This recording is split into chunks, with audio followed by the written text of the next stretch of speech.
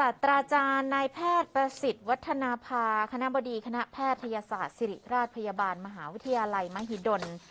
ระบุถึงการบริหารจัดการโควิด -19 หลังการคลายล็อกนะคะ ก็เน้นย้ำสี่อย่างที่ว่าไม่ควรจะเกิดขึ้นพร้อมกัน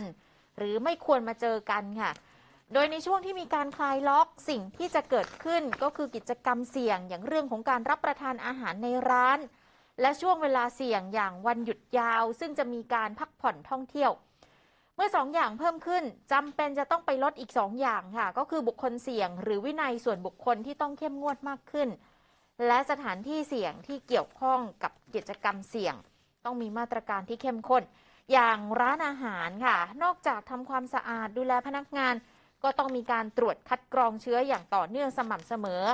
มื่อป้องกันไม่ให้สี่อย่างมาเจอกันได้ ก็จะช่วยป้องกันการติดเชื้อได้ค่ะ ส่วนกรณีจะยกเลิกพรกฉุกเฉินต้องยอมรับว่ามีความเสี่ยงในการตัดสินใจ เพราะขณะนี้ยังฉีดวัคซีนได้ไม่เกินร้อยละ 50 ถือว่ายังเร็วเกินไป แต่ถ้าเกิดจะไปบังคับใช้กฎหมายอื่น ๆ สามารถทำได้นะคะ แต่ว่าต้องมีมาตรการบังคับใช้ให้เป็นไปตามกฎหมายได้อย่างจริงจัง และประชาชนมีวินัยในการดูแลควบคู่ดูแลตัวเองควบคู่กันไปด้วยค่ะ มาดูตัวเลขผู้ติดเชื้อรายวันนะคะ วันนี้เพิ่มขึ้นอีก 13,821 คนแบ่งเป็นติดเชื้อใหม่ 13,303 คน ติดเชื้อในเรือนจำ518 คน จากการตรวจทั้งสิ้น 48,646 คน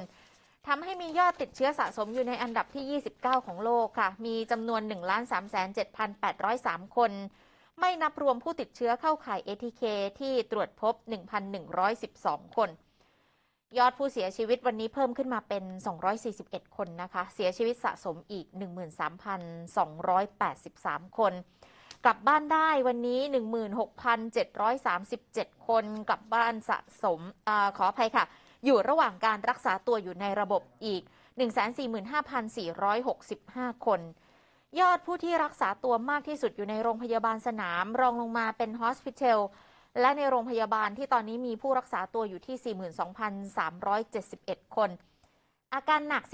4,487 นะคะ แล้วก็ต้องใช้ท่อช่วยหายใจเนี่ยลดลงจากเมื่อวานนี้ตอนนี้เหลืออยู่ที่ 985 คนค่ะ